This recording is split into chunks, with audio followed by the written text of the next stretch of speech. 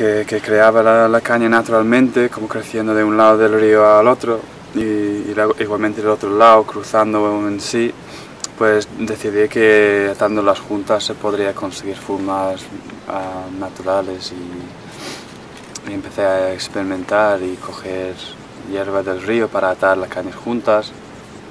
Y vi enseguida que conectando algunas cañas juntas pues consigues una estructura suficientemente fuerte para, para, para trepar, trepar en, encima y vi la potencial que tenía uh, multiplicando las fuerzas de las cañas para conseguir estructuras cada vez más, más fuertes. Todas las actividades del ser humano, la idea es que se, engloba con, con nuestra relación con la naturaleza para que todos nuestros desechos vuelvan a la tierra para, para luego aprovechar. Entonces nosotros pensamos en los recursos de agua y el reciclaje de agua porque caña crece mejor en, en, agua grises que, agua normal. Entonces podemos pensar en una manera de reciclar agua usando filtros de, grava y plantaciones de caña para, generar un material sostenible que cada dos años tenemos nueva, nuevo recurso de, material material que no está mm, reconocido como material de construcción. Entonces estamos con la el tema de la licencia, haciendo pruebas de cargas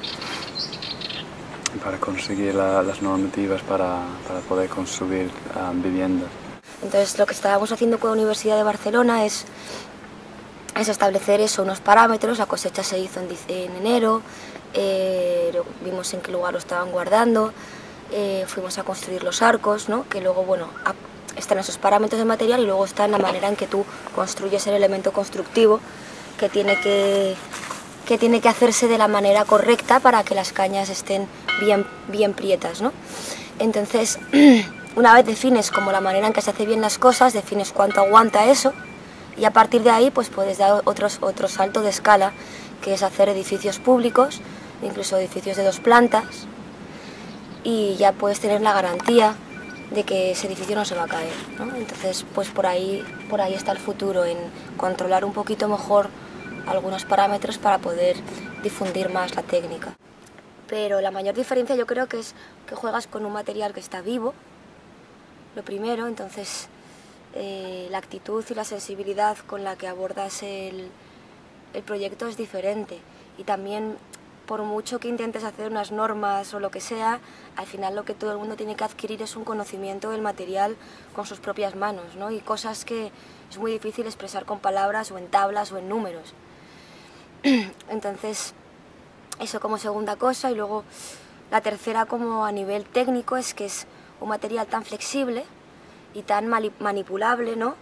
Que la geometría, las formas que resultan eh, cuando las piensas desde el propio material, no, eh, no piensas en una forma y luego piensas en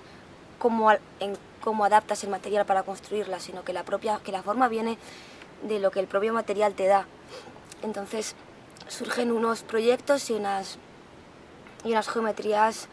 totalmente diferentes, eh, que tienen mucho más que ver con, con conceptos como cestas, cestas gigantes, eh, cosas entrelazadas, eh, combinación de elementos flexibles que, que, mediante sus uniones se hacen más fuertes, pero siempre tienes que tener en cuenta que es un edificio que, que se mueve y que respira, no, no, puedes pensar en esta construcción como, como cosa. Por otra parte, lo que estaba diciendo John, de que no se utiliza energía, sino que es el propio cuerpo, pues eso también intentamos ofrecer a la gente, por las mañanas, pues eh, estiramientos, cada, cada, uno del grupo eh, de Caña Viva pues suele practicar ya eh, individualmente yoga o otros ejercicios. Hacer una patente para que nadie pueda hacer una patente sobre, sobre eso y poder así proteger el libre uso de la técnica. Lo que también nos ha pasado es que algunas personas en principio la técnica tiene ya un copyleft y está en proceso de patente ya. La protección que tiene hasta ahora permite el uso a cualquier persona siempre y cuando no sea con fines comerciales. Falta bastante control desde, desde la hora de la, la, cosecha hasta, hasta el montaje para que salga bien la forma, para aprovechar mejor la, um, um, apreciar mejor la distribución de las fuerzas, que no haya fallos en, en, las columnas. Si una caña se rompe puede romper un arco, si un arco se rompe pues puede caer una estructura. O sea, hay muchos detalles que hay que cuidar muy bien